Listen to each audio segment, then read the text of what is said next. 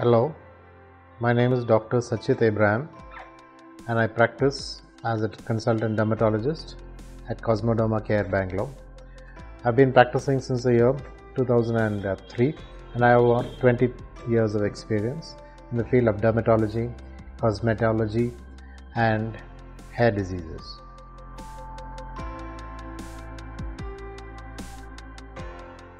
Cold sore or herpes simplex usually can be treated by uh, antiviral medications like oral acyclovir, valacyclovir or famciclovir. But the important thing is that the treatment should be started before 24 to 48 hours after the eruption of the lesions. Using treatment after 48 hours is usually not very effective to treat herpes lesions.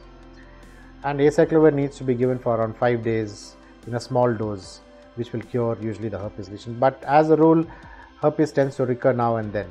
But the important thing is to give him a long period of remission once the herpes attack happens.